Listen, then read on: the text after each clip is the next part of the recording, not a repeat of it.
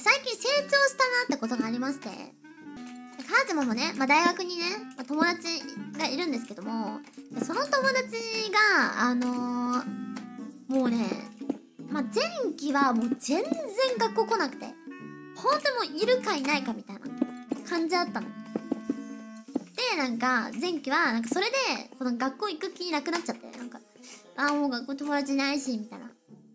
もう、みたいな、思ってて。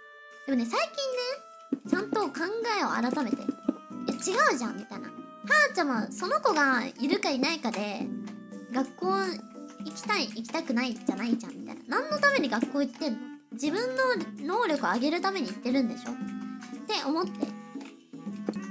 自分のモチベを上げるのを友達に求めるのは間違ってるよってなって。ちゃんと自分で自己コントロールができるようになりました。のは、あれだ。お母さんとかに言われたんか？そそれを自分では気づけなかった。まるで今自分で気づきましたかのように言っちゃったけど。まあ、そう思ってた時期もありましたということですね。